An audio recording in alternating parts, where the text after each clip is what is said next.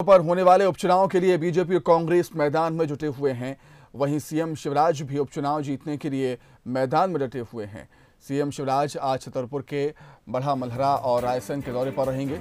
वहीं सीएम के साथ पूर्व सीएम उमा भारती भी मौजूद रहेंगे। जनसभा को संबोधित करेंगे।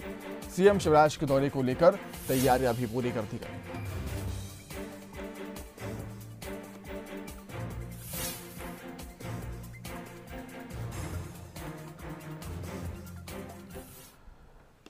अधिक जानकारी के लिए हम सीधे रुख करेंगे हमारे संवाददाता वासु चौरे से। वासु, जिस तरीके से हम देख रहे हैं उपचुनाव को लेकर सीएम शिवराज का धुआंधार प्रचार लगातार जारी है। इसी कड़ी में आज वो बड़ा मल्हार रायसेन के दौरे पर पहुँचने वाले हैं और उनके साथ होंगे बीजेपी के फायर ब्रांड नेता उमा भारती।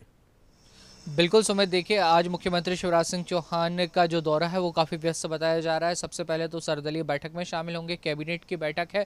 उसके बाद जो उनका अभी जो दौरा चल रहा है वो तमाम उन क्षेत्रों में पहुँच रहे हैं जहाँ पर उपचुनाव होने जा रहे हैं। तो उसी क्रम में आज बड़ा मलेहरा पहुँचेंगे। बड़ा मलेहरा से कुछ दिन पहले ही कांग्रेस के जो विधायक थे प्रद्युम लोधी, उन्होंने कांग्रेस का दामन छोड़ा था, इस्तीफा दिया था और बीजेपी के साथ उन्होंने ज्वाइन किया था। तो प्रद्युम लोधी उमा भारती के भी करीबी माने जाते हैं। ऐसे में उमा भारती भी इस पूरे दौरे के दौरान शिवराज सिंह चौहान के साथ नज़र आएँगे। बड़ा मलहरा के बाद सांची विधानसभा के दौरे पर रहेंगे मुख्यमंत्री शिवराज सिंह चौहान, जहाँ पर करोड़ों के विकास कार्यों की वो सौगात देंगे और उसके बाद एक बार फिर भोपाल पहुंचकर तमाम जो प्रदेश की गतिविधियाँ चल रही हैं, उसको लेकर जो समीक्षा बैठकें हैं और अधिकारियों को जो दिशा निर्देश देने का काम है, वो लगातार जारी रहने वाला है। तो बहरहाल उपचुनाव को लेकर सरकार अब एक्शन मोड में है और बहुत ही रैपिडली जो फैसले हैं वो लिए जा रहे हैं और लगातार जो राजनेताओं के दौरे हैं, वो भी बनते हुए नज़र आ रहे हैं। सुमित।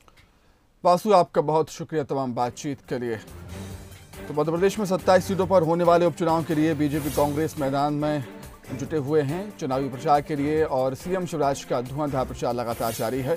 इसी कड़ी में आज वो छतरपुर के बढ़ा मधरा और रायसेन के दौरे पर रहेंगे, जहाँ पर वो जनसभा को संबोधित करेंगे। उनके साथ होंगी मध्य प्रदेश की पूर्व सीएम उमा भारती।